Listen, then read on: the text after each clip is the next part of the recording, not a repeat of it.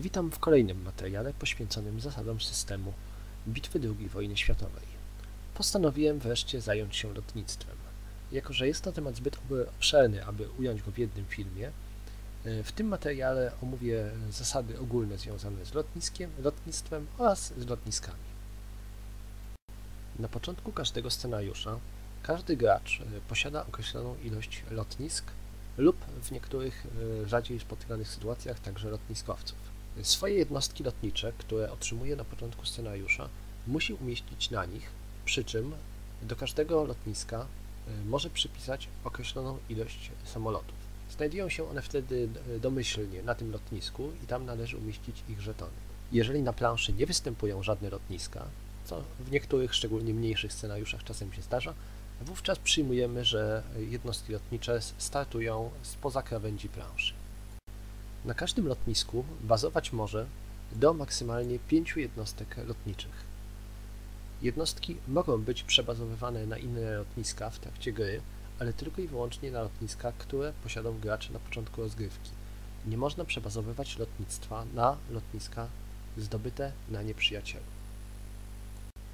Jeżeli na heks lotniska wejdzie jednostka nieprzyjaciela, to wszystkie jednostki lotnicze, które w danym momencie znajdują się na danym lotnisku, są eliminowane. Jeżeli natomiast jednostka nieprzyjaciela znajduje się na heksie sąsiednim do lotniska lub na lotnisku, to na takim lotnisku nie może już wylądować nigdy żadna nasza jednostka. Taka jednostka musi być automatycznie przebazowana na inne lotnisko, a jeżeli nie mamy na planszy żadnego innego lotniska pod naszą kontrolą, wówczas taka jednostka jest eliminowana. Jeżeli w wyniku ostrzału artyleryjskiego, ataku bombowców lub szturmowców lotnisko zostanie uszkodzone, to wszystkie jednostki, które na nim e, lądowały, muszą zostać natychmiast przebazowane na inne lotniska lub jeżeli nie mamy takiej możliwości, bo na przykład nie mamy już dość lotnisk, aby przyjęły te jednostki, wtedy e, takie lotnictwo jest eliminowane. Jeżeli natomiast w wyniku e, tego samego, takiego samego ataku lotnisko zostaje zniszczone, to wówczas automatycznie ulegają zniszczeniu wszystkie jednostki, które znajdują się na nim. Te, które się na nim nie znajdowały akurat, ale są do niego przypisane, muszą natomiast wylądować na jakimś innym lotnisku, a jeżeli tego lotniska nie będzie, to również są eliminowane. Jeżeli w momencie ataku e, artyleryjskiego, e, lotnictwa bombowego lub szturmowego na lotnisku e, znajdowała się dana jakaś jednostka lotnicza, a atak przyniósł nam rezultat U, czyli uszkodzenie, wówczas, y, nie mówiąc już o tym, y, co było związane z przebazowywaniem, musimy wykonać rzut kostką dla każdej y, takiej jednostki lotniczej. Wynik następnie dzielimy na pół, zaokrąglamy w górę i uzyskujemy w ten sposób liczbę punktów siły, jakie dana jednostka lotnicza straciła w efekcie ataku na lotnisko, na którym się znajdowała.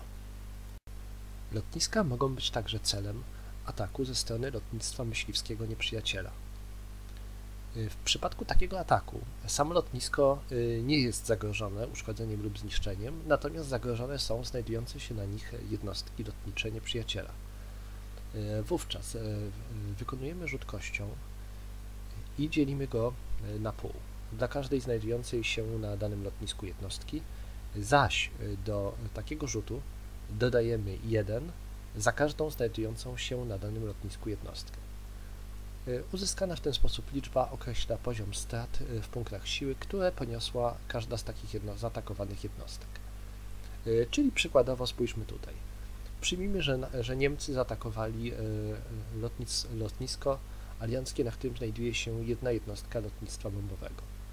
Gracz niemiecki wykonuje rzut kością, dzieląc wynik na pół i dodając do wyniku 1, ponieważ na lotnisku znajduje się jedna, jedna jednostka lotnictwa nieprzyjaciela. Y, ta sytuacja pokazuje, że y, warto na samych lotniskach y, trzymać także artylerię przeciwlotniczą, która uchroni nas przed takimi przykrymi niespodziankami. Mając za sobą podstawowe informacje dotyczące lotnisk, możemy zająć się lotnictwem jako takim. W systemie bitwy II wojny światowej występuje sześć rodzajów lotnictwa. Jest to lotnictwo myśliwskie, lotnictwo szturmowe, lotnictwo rozpoznawcze, lotnictwo bombowe, lotnictwo transportowe oraz e, specjalnie dla e, jednostek japońskich lotnictwo kamikadze. E, każdy z tych rodzajów lotnictwa posiada własne specyficzne zasady, które omówię osobno lub też omawiałem wcześniej, jak w przypadku np. jednostek rozpoznawczych, one zostały omówione dokładniej w zasadach poświęconych maskowaniu i rozpoznaniu.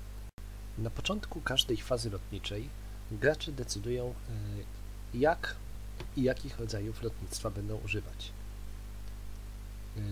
Zaczyna gracz nieposiadający inicjatywy. Zapisuje on na kartce e, e, współrzędne pól, na których zamierza umieścić swoje jednostki lotnicze.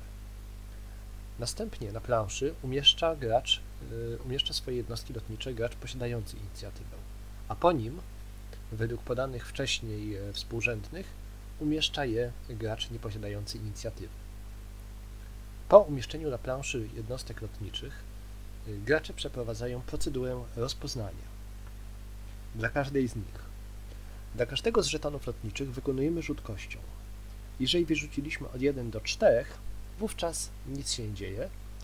Jeżeli wyrzuciliśmy 5, to ujawnione zostają wszystkie jednostki nieprzyjaciela lądowe, znajdujące się w promieniu 3 heksów od y, danej jednostki lotniczej, a jeżeli wyrzuciliśmy 6, wówczas ujawnione zostają wszystkie jednostki lądowe znajdujące się w promieniu 6 heksów od jednostki, dla której wyrzuciliśmy taką liczbę. Gdy zakończymy tę procedurę rozpoznania, wówczas przeprowadzamy ostrzał artylerii przeciwlotniczej y, wszystkich jednostek lotniczych, które znajdują się w powietrzu. Kolejność y, użycia jednostek lotniczych jest następująca.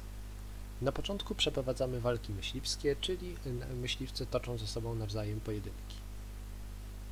Po ich zakończeniu przeprowadzamy procedurę sprawdzenia wpływu tych myśliwców, które pozostały na planszy, na wszystkie pozostałe jednostki szturmowe, e, rozpoznawcze itd. Następnie przeprowadzane są e, samodzielne ataki jednostek myśliwskich i szturmowych, a po nich e, bombardowanie przy użyciu lotnictwa bombowego. Następnie, omówione już przeze mnie wcześniej w rozdziale poświęconym maskowaniu, rozpoznanie przy użyciu lotnictwa rozpoznawczego, zaś na samym końcu wykorzystujemy lotnictwo transportowe, czyli e, kwestie związane ze zrzutami zaopatrzenia oraz e, desantami e, i transportem lotniczym. Następnie, jeżeli już zakończymy wszystkie te działania, żetony samolotów zdejmujemy z planszy. Co jest ważne, o tym trzeba pamiętać, nie, nie układamy ich z powrotem na lotniskach, ale odkładamy je, zdejmujemy je z planszy, a na lotniskach umieszczamy je dopiero na początku następnej fazy lotniczej. Jeżeli po zakończeniu fazy lotniczej pozostały nam na lotniskach jakieś jeszcze niewykorzystane jednostki lotnictwa myśliwskiego, szturmowego lub rozpoznawczego, to możemy je wykorzystać na bieżąco w trakcie fazy w następujący sposób. Do wsparcia walk w trakcie fazy ruchu lub walki do wykonywania ataków e, lotnictwa myśliwskiego lub szturmowego na cele przeciwnika, do osłony własnych jednostek e, morskich oraz do przeprowadzenia rozpoznania lotniczego.